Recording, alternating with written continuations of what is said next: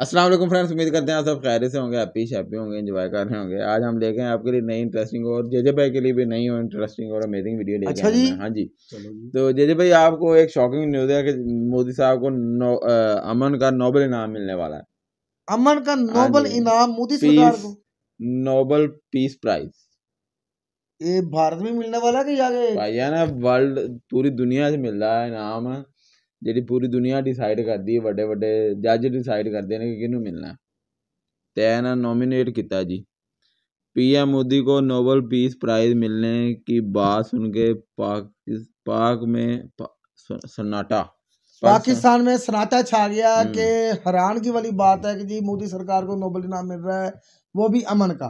क्योंकि पाकिस्तान ये है टाइटल हाँ जी क्योंकि पाकिस्तान में मोदी साहब को बड़ा मुसलमानों के खिलाफ जी सुना है हमने मीडिया से हम्म। कि जब भी इलेक्शन वगैरह होते हैं ना हिंदुस्तान में तो ये एंटी मुस्लिम के हो जाता है के ये कि ये पाकिस्तान में जो मीडिया में जो खबरें चलती हैं कि मोदी साहब मुसलमानों के बहुत खिलाफ हैं। तो जी। अब देखें ये बाकी जनता की क्या मैंने एक और वीडियो देखी थी हम्म, कि जिसमें मोदी सरकार ना अब तकरीर कर रहे थे तो अजान हो गई। हम्म, जैसे ही उन्होंने बोला ना अल्लाह अकबर मोदी सरकार ने अपने ना वो स्पीकर वगैरह बंद कर दिए। तो हाँ इस बोलने ही नहीं एक लफ्ज भी उसी वक्त बंद हो गए। हम्म, तो अगर मैं मेरे माइंड में उस वक्त ये बात आई कि अगर जो बंदा अजान का इतना एहतराम कर सकता है तो वो फिर ऐसे तो नहीं कर सकता है ना। तो अब देखते हैं वीडियो में बाकी वीडियो देखेंगे तो पता चलेगा वीडियो कैसी है कैसी नहीं है। तो वीडियो अच्छी लगे तो शेयर कीजिएगा चैनल को सब्सक्राइब कीजिएगा वीडियो को लाइक कीजिएगा। बाकी बातें तो चलो वीडियो देखें। आप कहते हो वो टेररिस्ट है। आप कहते हो वो मुसलमानों का दुश्मन है। अगर वो दुश्मन होता दुनिया बेवकूफों से पीस का अवार्ड दे रहे हैं। और उसके लिए बड़ा सॉलिड किस्म का नॉमिनेट है ये मोदी साहब ना। और मेरी दुआएँ हैं मोदी साहब आपको ही वो अवार्ड मिलना है। पाकिस्तान की जो हुकूमत है और हमारे जो फाइनेंस मिनिस्टर साहब हैं उन्होंने एक स्टेटमेंट जारी की है कि और ये कहा है कि पाकिस्तान को ये कहा जा रहा है कि जो लॉन्ग रेंज न्यूक्लियर मिसाइल्स हैं उनके ऊपर कंप्रोमाइज किया जाए या उस प्रोग्राम को अबैंडन किया हम्म। जाए अब सारी दुनिया में तो ये होता है कि जो न्यूक्लियर एसिड्स होते हैं जो न्यूक्लियर बम होता है वो उस मुल्क की हिफाजत करता है। ये वाहिद बम है जिसकी हम हिफाजत करते रहते हैं कि कोई उठा के ना ले जाए कुछ चुरा के ना ले जाए कोई उसका फॉर्मूला ना उड़ा ले कहीं कोई हमसे छीन ना ले। अमन का अवार्ड मिलेगा मोदी साहब को जिसे हम लोग टेररिस्ट भी कहते हैं। जिसे हम लोग जालिम भी कहते हैं। मुल्क जो है वो दिवालिया की तरफ़ जा रहा है। तीसरी तरफ़ फाइनेंस मिनिस्टर ये कह रहा है कि जनाब हमें ये कहने बाहर जा रहा है कि न्यूक्लियर प्रोग्राम भी या करना आ गया। न्यूक्लियर। मिसाइल हैं वो उनके ऊपर कंप्रोमाइज करें। कमाल हो गया जी। एक वही तो बचा है हमारे पास लोगों को डरा धमका के पैसे लेने के लिए। वो मुल्ला भी कह रहा था ना कि एक हाथ में एटम बम ले जाओ और एक में जाके वो उनसे कहो कि लाओ जी पैसे दो नहीं तो बम मार दो। तो अब मतलब वो भी दे दे तो फिर क्या करेंगे हम? मतलब फिर तो कुछ भी मतलब फिर तो इंडिया में खा जाएगा। भाई मैं इंडिया से प्यार करता हूँ और ये मुझे किसी से डर की ज़रूरत नहीं है। ना मैं किसी से पैसे लेता हूँ ना कुछ। मुझे उन लोगों के प्यार के साथ मोहब्बत है जो मुझसे प्यार करते हैं। हम्म। जैसे आप लोग हमसे प्यार करते हैं ना वैसे ही हम आपसे प्यार करते हैं। ऐसे? यस बॉस नमस्कार दोस्तों। दोस्तों आपने काफ़ी बार पाकिस्तानी मीडिया में हमारे प्रधानमंत्री मोदी जी के खिलाफ जहर उगलते देखा होगा। जहाँ फिजा खान जैसे कुछ और जर्नलिस्ट मोदी जी के खिलाफ कई सारे बातें कहते हैं। रिसेंटली पाकिस्तान के फॉरेन मिनिस्टर बिलावल भुट्टो ने भी मोदी जी के खिलाफ यूनाइटेड नेशन में कहा। लेकिन दोस्तों अब दुनिया मोदी जी को मोस्ट पॉपुलर लीडर कहती है। और अब नई रिपोर्ट आई है जिसमें कहा जा रहा है कि मोदी जी को नोबेल पीस अवार्ड भी मिलने वाला है। मिल गया ना मोदी जी ने जिस तरह है भारत को तरक्की के लिए तो ही लेकर गए हैं और इसके साथ साथ पूरी दुनिया को बहुत सारी मदद भी की है। और ने है है एक कॉन्फ्रेंस में स्पीच देते हुए अच्छा। कहा कि अब और कुछ अन्य सोर्सेस पाकिस्तान पर प्रेशर बना रही है और कहने लग रहे हैं कि आईएमएफ के लोन के बदले है। पाकिस्तान अपनी न्यूक्लियर प्रोग्राम से समझौता कर ले। और हम्म। पाकिस्तान अपना लॉन्गेस्ट रेंज मिसाइल प्रोग्राम को तुरंत से तुरंत बंद कर दे। तो चलिए दोस्तों इसी पर आगे। पाकिस्तानी मीडिया का रिएक्शन देखते हैं। मैं देखिए मैं सबसे ऑडियंस से ये बात करना चाहूँगा। पीस का मतलब क्या होता है? अमन। तो पूरी दुनिया का अमन का अवार्ड मिलेगा मोदी साहब को जिसे हम लोग टेररिस्ट भी कहते हैं जिसे हम लोग जालिम भी कहते हैं जिसे हम लोग कहते हैं कि ये कातिल है ये गुजरात के हवाले जी हाँ। देखिए साबित तो कुछ नहीं ना हुआ। तो कहने से तो कुछ भी हो सकता है। एक और चीज़ मैं ऐड करना चाहता हूँ। कहने को तो फिर अगर पाकिस्तान की बात की जाए मैं पाकिस्तानी हूँ लेकिन बड़े अफसोस के साथ कहना पड़ता है कि पाकिस्तान को लेकर भी इंटरनेशनल लेवल पे जो इमेज है वो सबके सामने है। फिर क्या हम वो भी मान लें? देखिए ये चीज़ें समझने वाली हैं। पूरी दुनिया वो बेवकूफ़ नहीं है। वो पूरी दुनिया का एक अदारा होता है पूरी दुनिया इकट्ठे होकर एक फैसला करते हैं कि नोबल पीस अवार्ड किसे दिया जाएगा? और उसके लिए नॉमिनेट हुए हैं जी मोदी साहब और बड़े सॉलिड किस्म के नॉमिनेट हुए हैं। तो मतलब बड़ी खुशी होती है देख के लेकिन यार हमारे गैरतमंदों को शर्म नहीं आ रही कि हम लोग भी कुछ करें सिर्फ़ ब्लेम दे सकते हो सिर्फ़ ये हाँ। कह सकते हो आप हाँ। ऐसे हो आप वैसे हो आपने ये कर दिया तो दुनिया सारी गद्दार है दुनिया बेवकूफ़ है, दुनिया गद्दार है, गद्दार आप है, इधर पाकिस्तानी आबिद अली तो वैसे ही गद्दार है हाँ। जो मोदी साहब की तारीफ़ करते लोग सारे गद्दार कहते हैं। अरे अच्छा इधर एक और चीज़ है। बदलने के पीछे काट रहे थे कोई तारीफ़ कर दूँ किसी की तो कहा ये जाता है। या समझ लोग समझ सकते हैं लोगों का हक है कि यार व्यूअरशिप के लिए व्यूज़ के लिए। आप किस चक्कर में तारीफ़ करते हैं? मुझे ये बताओ आप मेरे से पैसे लेते हैं या आपका कोई और सिस्टम है या आप किसी एजेंडे पे काम कर रहे हो? अच्छा ये बड़ी ज़बरदस्त मैं तो करूँ मैं तारीफ़ करूँ किसी का ये ब्लेम करना बनता है कि भाई ये तो व्यूअरशिप के लिए लोगों को जी, जी। इंडियन ऑडियंस को खुश करने के लिए ये काम कर रहा है। आप किस लिए इस चीज़ का जवाब मैं बड़े सिंपल लफ्जों में देता हूँ आपको। देखिए मैं सबको ये मैसेज देना चाहता हूँ। बड़ा अच्छा बंदा मेरा कोई यूट्यूब चैनल है ना मैं यूट्यूब बहुत ज़्यादा यूज़ करता हूँ। लेकिन अब आप हमारी टीम का हिस्सा बन गए हैं ये आप आप- अनाउंस करते हैं मैं आप लोगों की टीम का हिस्सा नहीं हूँ मैं आप लोगों को भाई समझता हूँ। और जो ऑडियंस मुझे देखते हैं ना यकीन करें दिल की गहराइयों से इन्हें पसंद करता हूँ। इनके मैसेज सुनता हूँ इनके मैसेज पढ़ता हूँ बड़े शौक बड़े शौक से मैं पढ़ता हूँ इनके मैसेज अच्छा बात टॉपिक पे आते हैं हम लोग। मोदी साहब को पूरी दुनिया ने गैरतमंद करार दिया है। इसका मतलब ये गैरतमंद आदमी करार दिया है उसे। तो मैं तो बड़ी देर से कहता हूँ कि मोदी और उसका पूरा मुल्क गैरतमंद है। अब दूसरी बात ये करता हूँ कि हम लोग आज बड़ी तकलीफ़ से मैं ये बातें करना चाह रहा हूँ कि हम लोग हमारी गैरत कब जागेगी? हमारे हुक्मरानों की गैरत कब जागेगी? कब ये होश के नाखून लेंगे? कब इन्हें समझ आएगी कि इस पाकिस्तान को ऊपर जाना चाहिए?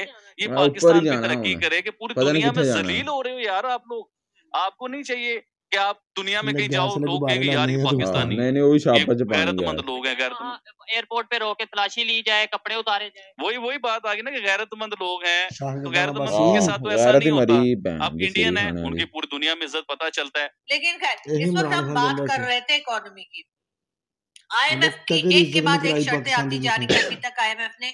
पाकिस्तान को ज़रूरत नहीं है और जब भी हमारे लोग जाते हैं यानी सागर साहब या कोई और पॉलिटिशियन जाता है कोई और हमारे यहाँ से जो मिनिस्टर्स जाते हैं या जो लोग एक्सपर्ट्स जाते हैं बात करने के लिए वो वापस आते हुए उनको दो शर्तें और दे देते हैं। ये तो वही बात हो गई ना जो मुसलमानों के लिए कहा जाता है कि जी हम नमाजें बख्शवाने गए थे तो रोज़े गले पड़ गए। यानी हम गए थे आ, खुदा के पास के जी हमारे नमाजे हमसे पढ़ी नहीं जाती तो वो बख्शते हैं। तो उन्होंने कहा बेटा ऐसा कि साथ में ना तीस रोज़े भी रख लो। तो ये बहुत मतलब मुहावरा है हम हमारे यहाँ बोला जाता है कोई मुल्ला मेरे पीछे ना पड़ जाए कि जी हम नमाजें बख्शवाने गए थे तो रोज़े हमारे गले पड़ गए। तो बिल्कुल ऐसा ही होता है कि जब आईएमएफ के पास जाते हैं और उनसे कहते हैं कि जी आप हमें पैसे कब देंगे पैसे कटो तो वो फिर कहते हैं अच्छा जाओ फिर ये करके दिखाओ फिर ऐसे करके दिखाओ फिर बन के दिखाओ फिर खोता बन के दिखाओ। तो यही होता जा रहा है और अब आईएमएफ ने क्या कहा है ये बात बताने से पहले मैं आपको एक वीडियो दिखाती हूँ शायद मेरे कुछ कहे बिना ही आपको बहुत कुछ समझ में आ जाए is there to compromise anything on the nuclear or the missile program of Pakistan. No way.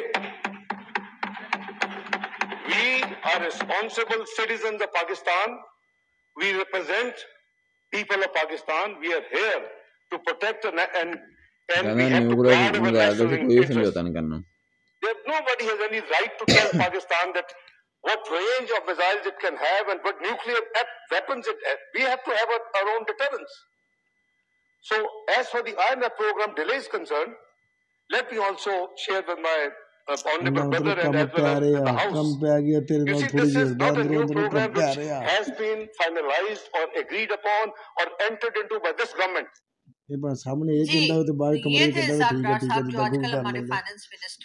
और ये सेनेट में तकरीर कर रहे थे और सेनेट का आज इवेंट मनाया जा रहा था जिसमें कि 75 इयर्स ऑफ़ पाकिस्तान सेनेट को सेलिब्रेट किया जा रहा था और डिफरेंट कंट्रीज़ के एम्बेसडर्स भी आपको इसमें दिखाई दे रहे होंगे। और इसाकदार साहब का कहना था जी ये क्या बात हुई जी? है ना? हम कोई कंप्रोमाइज नहीं करेंगे न्यूक्लियर एसेट्स में और ना ही हमने हमने जो मर्ज़ी हम वेपन बनाएँगे जो मर्ज़ी हम वेपन लेंगे। जी हाँ जी हाँ। बिल्कुल बिल्कुल बिल्कुल। आप लोग एकदम सही पहुँचे। आ, इसका मतलब ये हुआ कि जी आईएमएफ ने ये कहा है कि जो आपका न्यूक्लियर प्रोग्राम है ना पाव पाव के बम वाला, वही जो शेख रशीद साहब कहते थे, पाव पाव के बम है, वो हम मारेंगे इंडिया में तो हिंदुओं को मार देंगे, मुसलमानों को छोड़ देंगे, कुछ इस किस्म के बातें वो करते रहते हैं कभी कुछ कभी कुछ तो बिल्कुल जी आ, लग यही रहा है कि आईएमएफ ने कहा है कि जो न्यूक्लियर प्रोग्राम है पाकिस्तान का उसको थोड़ा सा स्लो डाउन किया जाए। और वैसे तो स्लो डाउन क्या करे सर? मुझे तो लगता है कि पता नहीं चलता भी है कि नहीं बहुत टाइम हो गया उसमें। मतलब तेल वेल डाले पता नहीं बम बम चलते भी है कि नहीं। लेकिन खैर इसाक डार साहब के बकौल कि आईएमएफ ने इस किस्म की भी कंडीशंस लगा दी हैं। अब भला बताइए हमने घास खा खा के भुट्टो साहब ने कहा था हम घास खाएँगे हाँ लेकिन हम एटम है तो हमने खूब घास खाई और हम अभी तक घास ही खा रहे हैं और उसके बाद एटम बम हमने तो बनाया अब सारी दुनिया में तो ये होता है कि जो न्यूक्लियर एसिड्स हैं गंदे आए है पाकिस्तान के वो उस मुल्क की हिफाजत करता है ये वाहिद बम है जिसकी हम हिफाजत करते हैं कि हिफाजत कर रहे उठा सही ना है। ले जाए कुछ नहीं चुरा तो के ना ले जाए बंदूक कोई उसका हिफाजत करती फॉर्मूला बंदे बंदूक कोई दिखाया करे ना ले काम वगैरह है वगैरह वगैरह। तो जी इसी किस्म की चीज़ें जो है वो लगता है कि आईएमएफ ने एक बार फिर कोई और कंडीशन भी लगा दिया मुझे लो जी वीडियो वाकई बहुत कमाल गया सबसे पहले तो आपको अप्रिशिएट करते हैं। कंग्रेचुलेशन कंग्रेचुलेशन है यार। कंग्रेचुलेशन के आपके हिंदुस्तान के सबसे बड़े प्रधान प्रधानमंत्री मोदी सरकार ने भाईजान प्रधानमंत्री को मिल रहा है अमन का नोबल इनाम। जी। और काम ही ऐसे कर दिए मोदी हमें क्या सरकार मिल रहा है? ठुल्लू। नहीं नहीं मोदी सरकार ने काम ही ऐसे कर दिए हैं कि जिसकी वजह से पूरी दुनिया मजबूर हो गई है मोदी सरकार को नोबल इनाम देने के लिए वो भी ही अमन का। और मैंने आपसे भाई आपको कई वीडियो पहले बता दिया था कि एक दिन आएगा कि मोदी सरकार अपना सिक्का बनवाएगी पूरी दुनिया में। वाह क्या जबान है तेरी कहा काट था ना? काट भाई कहा था ना? मैं वही तो कह रहा हूँ क्या जबान है तुम्हारी यार ये बात छोड़ो कहा था ना? जी। तो वो हकीकत हो रहा है मान ना। लिया भाईजान मान लिया। वाह। तो ये वाकई बड़ी ही सोचने वाली और बड़ी सबसे पहले तो कंग्रेचुलेशन आपको। हाँ और दूसरी बात और दूसरी बात कि वाकई ये बड़ी हमें सोचने वाली बात है कि जो असहागदार साहब हमारे हैं तो वो फाइनेंस मिनिस्टर जी तो वो कह रहे हैं जी कि हम अब वेपन पे कोई समझौता नहीं करेंगे जिस तरह के भी चाहेंगे वो ले लेंगे। तो मैं इनको पहले बता रहा था कि वाकई ये कोई खतरे वाले अलामात हैं जो ऐसे इशारे मिल रहे हैं हमें। जो इशारे मिल रहे हैं ये हमारी अवाम को पाकिस्तानी अवाम को हमारी पाकिस्तानी गवर्नमेंट को पाकिस्तान के अदारों को इन चीज़ों के बारे में सीरियस होना चाहिए सोचना चाहिए कि ऐसा वो हमारे भुट्टो साहब थे पीपल्स पार्टी के जो चीफ थे जो वो शहीद हो गए। उन्होंने कहा था कि हम घास खा लेंगे मगर हम एटम ज़रूर बनाएँगे। एटम बम और अब हमने एटम तो बना लिया है। कहानी हमारी- चटनी यार। वही तो मैं कह रहा एटम बम तो बन गया वो घास हमारी जान नहीं जोड़ रही। जी और मैं हफ्स भाई को वीडियो में कह रहा था कि यार एक जो पिस्टल होता है ना हम्म, वो आदमी की हिफाजत के लिए होता है ना कि आदमी पिस्टल की हिफाजत करे। हाँ जी।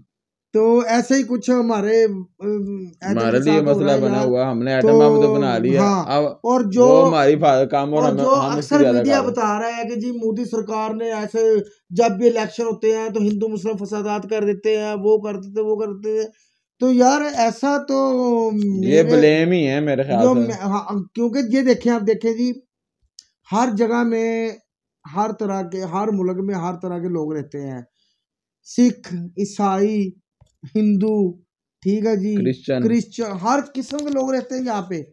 पाकिस्तान में भी हिंदुस्तान में भी अमेरिका में भी हर तरह के लोग रहते हैं ठीक है जी? और बात सुनिए और जो हर तरह के लोग हैं देखें अब ऐसे हालात हैं कि मुसलमान ही मुस, जो दहशत गर्द हैं सबसे बड़े हैं दहशत गर्द जिनका कोई दीन से तलक नहीं है इस्लाम से तलक नहीं है। मगर वो भी अपने आप को मुसलमान कहते हैं। मुसलमान ही कहते हैं ना अपने आप को। वो भी अल्लाह अकबर का नारा लगाते हैं और धमाका कर देते हैं। हालाँकि वो जहन्नमी है। उनको वो उनका दीन से इस्लाम से दूर दूर तक तलक नहीं है। भाई आपको पता है ये जो सुसाइड अटैक है ये सबसे पहले किसने याद किया था? किसने याद किया था भाई? ये मैंने सुना था कि ये जो सुसाइड अटैक है ना ये श्रीलंका में ना जो श्रीलंका में जो होते थे फसाद बंग क्या उनमें रहते थे? हमारे पाकिस्तान में तो कुछ ऐसा हुआ था कि जब उन्नीस सौ पैंठ की जंग थी हिंदुस्तान की और पाकिस्तान की लगी हुई थी तो हिंदुस्तान तकरीबन लाहौर के पास आ गया था। अच्छा। ठीक है ये सुना है मैंने तारीख में तो बुज़ुर्गों से भी सुना है। तो हमारे जो जनरल जनरल जियाउलक थे गालबन हाँ तो उन्होंने कहा था कि यार पीछे हो जाओ आप। फौजियों को बोला था। ये मेरे वाला साहब बात कर रहे थे कि जंगे हमेशा है ना जर्नैलों के सर पे लड़ी जाती है जो अगर जज्बे जज्बे अगर जर्नैल बहादुर हो ना तो फिर फौजी बहादुर है। अगर जर्नैल वो निकला हो ना खुसरा दिरपोक तो फिर फौजी का हौसला वहीं पे पस्त हो जाना है। और जब लाहौर तक आ गई थे ना तो फिर वो जर्नैल वो जनरल अयूब भी थे गालबन उन्होंने कहा था फौजियों के पीछे हो जो मेरे सीने पे बम बम बांधो मैं जाता हूँ आगे मेरे सीने पे। उसने ऐसे तो जब फौजियों ने देखा तो उन्होंने कहा सर आप पीछे हो जाए। आप पीछे हो। ये उन्नीस सौ पैंठ की जंग की बात कर रहा हूँ तब जब पाकिस्तान आज़ाद हुआ था पहली जंग थी पाकिस्तान की और पहली की थी दूसरी थी भाईजान। पहली तो अड़तालीस ही हो गई थी। वो तो- वो तो जंग ही ना गिने ना वो तो लैदा होया सी अच्छा तो वो ऐसा हुआ था तो फिर वो फौजी जब ये ये अटैक जब हुआ जो ये दश अब हम अब हम अच्छा अब बम बाँध के ना टैंका थले हाँ वो टैंक पीछे जाने शुरू हो गए। पीछे हिंदुस्तान के इस तरह करके फिर वो पाकिस्तान होना वरना तब भी हिंदुस्तान ने कब्जा कर लेना था पाकिस्तान पे फिर हिंदुस्तान पाकिस्तान लैदा होना ही नहीं सी हम्म, फिर वही काम फिर बांग्लादेश नहीं बनना सी ਮਗਰ ਇਹ ਆ ਕਿ ਫਿਰ ਉਦੋਂ ਬੜੀਆਂ ਕੁਰਬਾਨੀਆਂ ਦਿੱਤੀਆਂ ਫੌਜੀਆਂ ਨੇ। ਫਿਰ ਇਹ ਪਿੱਛੇ ਹੋਏ ਉਦੋਂ ਹੀ ਨੂਰਜਹਾਨ ਨੇ ਇੱਕ ਗਾਣਾ ਗਾਇਆ ਸੀ ਇਹ ਪੁੱਤਰ ਹਟਾ ਤੇ ਨਹੀਂ ਹਟਦੇ। ਵਿਕਦੇ ਨਹੀਂ ਵਿਕਦੇ ਕੀ ਲੱਭਦੀ ਫਿਰੇ ਬਾਜ਼ਾਰ ਕੁੜੇ। ਇੱਕ ਇਹ ਗਾਣਾ ਗਾਇਆ ਸੀ? ਇੱਕ ਉਹਨੇ ਗਾਣਾ ਗਾਇਆ ਸੀ ਇੱਕ ਗਾਣਾ ਹੋਰ ਸੀ ਯਾਰ ਇਹਦਾ ਚੱਲ ਰਹਿਣ ਦੇ ਨਾਲ ਦਾ। ਤੇ ਇੱਕ ਉਦੋਂ ਹੀ ਫਿਰ ਆ ਵੀ ਗਾਣਾ ਆਇਆ ਸੀ ਸਾਥੀਓ ਮੁਜਾਹਿਦੋ ਜਾਗ ਉਠਾਏ ਸਾਰਾ ਵਤਨ ਹੂੰ ठीक है आज रास्ते में आ, जो रास्ते में आएगा कट जाएगा इस तरह आई थी तो बाकी ये बातें होगी साइड पे ਹੂੰ ਵੇ ਵੈਸੇ ਜੰਗ ਵਾਲੀਆਂ ਹਾਂ, ਗੱਲਾਂ। ਜੰਗ ਵਾਲੀਆਂ ਗੱਲਾਂ ਨੌਲੇਜ ਦੀ ਹੋ ਗਈਆਂ ਸੁਸਾਇਡ ਦੀ ਗੱਲ ਹੋ ਰਹੀ ਸੀ ਤੇ ਇਹ ਤੇ ਉਦੋਂ ਇਹ ਬਣਿਆ ਸੀ ਸ਼ਾਇਦ ਉਹਨੂੰ ਵੇਖਦੇ ਹੋਇਆ ਮੱਦੇਨਜ਼ਰ ਰੱਖਦੇ ਹੋਇਆ ਇਹਨਾਂ ਨੇ ਕੰਮ ਫੜ ਲਿਆ ਵੀ ਦਹਿਸ਼ਤਗਰਦਾਂ ਨੇ ਯਾਰ ਬੜੀ ਭਾਈਜਾਨ ਦੁਨੀਆ 'ਚ ਬੜੇ ਬੜੇ ਪੁੱਠੇ ਕੰਮ ਹੋ ਰਹੇ ਨੇ ਮਗਰ ਗੱਲ ਇਹ ਹੈ ਕਿ ਦਹਿਸ਼ਤਗਰਦੀ ਜਿਹੜੀ ਲਾਹਨਤ ਹੈਗੀ ਨਾ ਉਹ ਪਾਕਿਸਤਾਨ ਭੁਗਤਦਾ ਪਿਆ ਵਾ ਪਾਕਿਸਤਾਨ ਇਹ ਲਾਹਨਤ ਨੂੰ ਖਤਮ ਕਰੇਗਾ ਇਨਸ਼ਾਅੱਲਾ ਕਿਉਂਕਿ ਇਸ ਦਹਿਸ਼ਤਗਰਦੀ ਨੇ ਪਾਕਿਸਤਾਨ ਨੂੰ ਬਦਨਾਮ ਕੀਤਾ ਹੈ ਦੁਨੀਆ ਤੇ ਪਾਕਿਸਤਾਨ ਦਾ ਬੜਾ ਨੁਕਸਾਨ ਕੀਤਾ ਪਾਕਿਸਤਾਨ ਦਾ ਨੁਕਸਾਨ ਤੇ ਪਾਕਿਸਤਾਨ ਨੂੰ ਬਦਨਾਮ ਵੀ ਕੀਤਾ ਇਸ ਦਹਿਸ਼ਤਗਰਦੀ ਨੇ ਦਹਿਸ਼ਤਗਰਦੀ ਕੋਈ ਕਰਦਾ ਨਾਮ ਪਾਕਿਸਤਾਨ ਦਾ ਉਹਨਾਂ ਨੇ ਜਿਹੜੀ ਦਾੜੀਆਂ ਰੱਖੀਆਂ ਹੁੰਦੀਆਂ ਨਾਮ ਪਾਕਿਸਤਾਨ ਦਾ ਕਿ ਮੁਸਲਮਾਨਾਂ ਦੀ ਪਾਕਿਸਤਾਨ ਨੇ ਭੇਜਿਆ ਹਾਲਾਂਕਿ ਪਾਕਿਸਤਾਨ ਨੂੰ ਪਤਾ ਵੀ ਨਹੀਂ ਹੁੰਦਾ ਇਹਨਾਂ ਚੀਜ਼ਾਂ ਦਾ। ਪਾਕਿਸਤਾਨ ਤੇ ਖੁਦ ਦਹਿਸ਼ਤਗਰਦੀ ਨੂੰ ਖਤਮ ਕਰ ਰਿਹਾ। ਇਸ ਕਰਕੇ ਬਾਕੀ ਇਹ ਤੁਹਾਨੂੰ ਮੈਂ ਦੱਸਾਂ ਅਗਰ ਮੋਦੀ ਸਰਕਾਰ ਨੇ ਅਮਨ ਰੱਖਿਆ ਆ ਦੁਨੀਆ ਦੀ ਸਭ ਤੋਂ ਅੱਛੀ ਗੱਲ ਹੈ ਕਿ ਮੈਂ ਮੈਨੂੰ ਅੰਦਾਜ਼ਾ ਵਾ ਕਿ ਜਿਹੜਾ ਮੋਦੀ ਸਰਕਾਰ ਨੇ ਤੁਰਕੀ ਦੇ ਵਿੱਚ ਕੰਮ ਦਿਖਾਇਆ ਨਾ ਕਰਕੇ। ਇਮਦਾਦ ਵੀ ਕੀਤੀ ਆਪਣੀ ਬੰਦੇ ਵੀ ਭੇਜੇ ਸਾਰਾ ਕੁਝ ਕੀਤਾ। ਉਹ ਮੈਨੂੰ ਲੱਗਦਾ ਉਹ ਦਿਲ ਜਿੱਤ ਗਿਆ। ਜਿਹੜਾ ਉਹਨਾਂ ਨੇ ਫਿਰ ਵੈਲਕਮ ਵੀ ਕੀਤਾ ਇਹਨਾਂ ਨੂੰ ਐਪਰੀਸ਼ੀਏਟ ਕਰਕੇ ਇਹਨਾਂ ਨੂੰ ਭੇਜਿਆ ਵਾਪਸ। ਤੇ ਫਿਰ ਉਦਾਂ ਵੀ ਮੋਦੀ ਸਰਕਾਰ ਪਤਾ ਨਹੀਂ ਇਹ ਸਿਰਫ ਨੋਮੀਨੇਟ ਹੋਏ ਨੇ। ਅਗਰ ਨੋਬਲ ਨਾਮ ਇਹਨਾਂ ਨੂੰ ਮਿਲ ਜਾਂਦਾ ਤੇ ਤੁਹਾਨੂੰ ਪੂਰੀ ਦੁਨੀਆ ਹੀ ਡੰਕਾ ਵੱਜੇਗਾ ਭਾਈਜਾਨ ਡੰਕਾ ਵੱਜ ਗਿਆ ਭਾਵੇਂ ਨਾ ਵੱਜ ਗਿਆ ਅਗਰ ਨੋਮੀਨੇਟ ਹੀ ਹੋ ਗਿਆ ਨਾਮ ਹੀ ਆ ਗਿਆ ਤੇ ਬਸ। ਨਾਮ ਹੀ ਆ ਗਿਆ ਤੇ ਇਹ ਵੀ ਬੜੀ ਗੱਲ ਆ। ਪੂਰੀ ਦੁਨੀਆ ਦੇ ਵਿੱਚ ਭਾਈਜਾਨ ਥੋੜੇ ਦਿਨ ਠਹਿਰ ਜਾਓ ਨਵਾਜ਼ ਸ਼ਰੀਫ ਦਾ ਵੀ ਆਉਣ ਵਾਲਾ ਕਿੰਦੇ ਵਿੱਚ ਚੋਰਾਂ 'ਚ? ਨਹੀਂ। ਅਮਨ ਦੇ ਨੋਬਲ ਨਾਮ ਭਾਈਜਾਨ ਅਮਨ ਨਾਲ ਰਹਿ ਰਿਹਾ ਕਿ ਨਹੀਂ ਰਹਿ ਰਿਹਾ ਇੰਗਲੈਂਡ ਵਿੱਚ? ਉਹ ਇੰਗਲੈਂਡ 'ਚ ਮਨ ਰਹਿ ਰਹੇ। ਤੋ ਦੂਸਰੀ ਗੱਲ ਮੈਂ ਕਰ ਰਿਹਾ ਕਿ ਯਾਰ ਬਾਕੀ ਬੜੀ ਅੱਛੀ ਗੱਲ ਹੈ। ਦੇਖੋ ਹੁਣ ਆਪਣੇ ਮੁਲਕ ਨੂੰ ਕਿਸ ਕਿੱਥੋਂ ਕਿੱਥੇ ਲੈ ਗਿਆ। ਗੁਰਬਤ ਨੇ ਖਤਮ ਕਰ ਦਿੱਤੀ ਮੋਦੀ ਸਰਕਾਰ ਭਾਈਜਾਨ ਹਾਲੇ ਖਤਮ ਨਹੀਂ ਹੋਈ ਕੋਸ਼ਿਸ਼ ਕਰ ਰਹੇ ਨੇ। ਭਾਈ ਕੋਸ਼ਿਸ਼ ਇਹ ਕਰ ਲਈ ਹੈ ਕਿ 100 ਫੀਸਦ ਚੋਂ ਤਕਰੀਬਨ 70% ਉਹਨੇ ਗੁਰਬਤ ਖਤਮ ਕਰਤੀ ਆ। ਅਗਰ 30 ਫੀਸਦ ਰਹਿ ਗਈ ਤਾਂ ਗੁਰਬਤ ਨਹੀਂ ਤੁਸੀਂ 1.5 ਅਰਬ ਦੀ ਆਬਾਦੀ ਆ ਦੇਖੋ ਤੁਸੀਂ ਭਾਈ ਨਾ। ਹਾਂਜੀ ਮੁਲਕ ਕਿੱਡਾ ਵੱਡਾ ਵਾ। ਬਹੁਤ ਵੱਡਾ। ਤੇ ਫਿਰ ਅਗਰ ਤੁਸੀਂ 30% ਗੁਰਬਤ ਕੋਈ ਗੁਰਬਤ ਨਹੀਂ ਆ। ਸਹੀ ਗੱਲ। ਫਿਰ ਤੁਸੀਂ ਦੇਖੋ ਤਾਲੀਮ ਉਹਨਾਂ ਨੇ ਆਮ ਕਰ ਦਿੱਤੀ। ਫਿਰ ਉਹਨਾਂ ਨੇ ਤਰੱਕੀ ਕਿੰਨੀ ਕਰ ਲਈ ਯਾਰ। ਮੈਂ ਹੈਰਾਨ। ਕਈ ਆ ਜਗ੍ਹਾ ਤੇ ਸਾਲਾਂ ਚ ਹਰ ਹਰ ਸ਼ਹਿਰ ਚ ਮੈਟਰੋ ਬਣ ਬਿਜਲੀ ਗਈ ਫ੍ਰੀ ਕਰ ਬੁਲਟ ਟ੍ਰੇਨ ਆ, ਬਣ ਰਹੀ। ਕਈ ਸਟੇਟਾਂ 'ਚ ਬਿਜਲੀ ਫ੍ਰੀ ਆ ਠੀਕ ਹੈ। ਤੇ ਜਿੱਥੇ ਬਿੱਲ ਵੀ ਦੇਣਾ ਪੈਂਦਾ ਉਹ ਵੀ ਬੜਾ ਸਸਤਾ ਤੇ ਯੂਨਿਟ ਫਿਰ ਉਹਨਾਂ ਨੂੰ ਨੋਬਲ ਇਨਾਮ ਨਾ ਮਿਲੇ ਤੇ ਕਿਹਨੂੰ ਮਿਲੇ? ਸਾਨੂੰ? ਭਾਈਆਂ ਅਸੀਂ ਚੈਨਲ ਚਲਾ ਰਹੇ ਹਾਂ ਕਿੰਨੀ ਮਿਹਨਤ ਕਰ ਰਹੇ ਹਾਂ। ਬਾਕੀ ਗੱਲ ਯਾਰ। ਐਪਰੀਸ਼ੀਏਟ ਕਰਦੇ ਤੁਹਾਨੂੰ ਜੀ ਤੁਸੀਂ ਬੜੇ ਖੁਸ਼ ਨਸੀਬ ਹੋ। ਮੁਬਾਰਕ ਹੋਵੇ ਬੜੀ ਖੁਸ਼ ਨਸੀਬ ਤੋਂ ਬਾਕੀ ਉਹ ਕਹਿੰਦੇ ਸੀ ਕਿ 2024 ਦਾ ਵੀ ਨਾ ਮੋਦੀ ਸਰਕਾਰ ਨੇ ਹੁਕੂਮਤ ਸੰਭਾਲਣੀ ਦੇਖੋ ਕੀ ਕਿਉਂ। ਪਾਏ ਨੇ ਤੇ ਇਹ ਪਾਕਿਸਤਾਨ ਚ ਆ ਕੇ ਜਿਹਨੇ ਦੋ ਵਾਰ ਸੰਭਾਲੀ ਤੀਜੀ ਵਾਰੀ ਨਹੀਂ ਕਰਦਾ। ਉਹ। ਕਹਿੰਦਾ ਬਾਰ ਬਾਰ ਜਿੱਤੇਗਾ ਤੇ ਬਾਰ ਬਾਰ ਮੋਦੀ ਬਣੇਗਾ। ਯਾਰ ਵੈਸੇ ਇੰਡੀਆ ਦੀ ਹਿਸਟਰੀ 'ਚ ਕਿਹੜਾ ਜਿਹੜਾ ਤੁਹਾਡਾ ਵਜ਼ੀਰ ਆਜ਼ਮ ਜਿਹੜਾ ਤਿੰਨ ਦਫਾ ਚਾਰ ਦਫਾ ਬਣਿਆ ਹੋਵੇ? ਮਨਮੋਹਨ ਸਿੰਘ ਸਾਹਿਬ ਦੋ ਦਫਾ ਰਹੇ ਨੇ। ਆ ਮੋਦੀ ਸਰਕਾਰ ਵੀ ਦੋ ਦਫਾ ਹੋ ਗਏ। ਉਹ ਤਾਂ ਅਗਲੀ ਦੇਖੋ ਵਾਰ ਅੱਗੇ ਆਂਦੇ ਕਿ ਨਹੀਂ ਹਾਂ। ਅੱਲਾ ਉਮਰ ਰੱਖੇ ਤੇ ਫਿਰ ਅਗਲੀ ਵਾਰ ਵੀ ਇਹ ਜ਼ਿੰਦਗੀ ਦੇ ਨਾਲ ਭਾਰਾ ਨਾ ਅਗਲੀ ਵਾਰ ਭਾਈਜਾਨ ਉਹੀ ਤੇ ਮੈਂ ਪੁੱਛ ਪਰ ਇਹ ਤਾਂ ਦੱਸਾਂ ਹਿੰਦੁਸਤਾਨ ਦੇ ਵਿੱਚ ਜਿੱਦਾਂ ਮੋਦੀ ਦਾ ਨਾਮ ਲੈਂਦੇ ਪਏ ਨਾ ਅਗਲੇ ਕਹਿੰਦੇ ਮੋਦੀ ਜੀ ਅਗਲੀ ਵਾਰੀ ਮੋਦੀ ਜੀ ਜਿਵੇਂ ਜਿਵੇਂ ਪਾਕਿਸਤਾਨ 'ਚ। ਕਈ ਪਾਗਲ ਜਿੱਦਾਂ- ਹੈਗੇ ਨੇ ਜਿਹੜੇ ਇਮਰਾਨ ਖਾਨ ਇਮਰਾਨ ਖਾਨ ਹਾਂ, ਕਰਦੇ ਜਿਸ ਤਰ੍ਹਾਂ ਹਾਜੀ ਸਾਹਿਬ ਵੀ ਹੈਗੇ ਨੇ ਇੱਕ ਹਾਂ ਹੈਂ, ਹੈ ਵੀ ਆਲਮ ਗੁੱਸਾ ਦੀਨ ਕਰ- ਨੇ। ਨਹੀਂ ਨਹੀਂ ਨਾਲ ਹੀ ਗੁੱਸਾ ਹੈ ਕਰ ਵੀ ਜਾਂਦਾ ਆਲਮ ਦੀਨ ने यार तू दरअस भी रोकड़ नहीं देते वो भी इमरान खान सपोर्ट करते तू हैं तो गुस्सा ना कर तो वीडियो आपको अच्छी लग रही मैं है शेयर कीजिएगा जेजे चैनल भाई को किधर जा सब्सक्राइब रहे हैं यार कीजिएगा। इमरान खान का वीडियो जब लाइक नाम आता है ना कीजिएगा। मिलते जेजे हैं। भाई परेशान हो जाते हैं अगली वीडियो में अपना ख्याल रखिएगा जेजे भाई अल्लाह गुस्सा कर हाफिज। जाते हैं जेजे भाई कुछ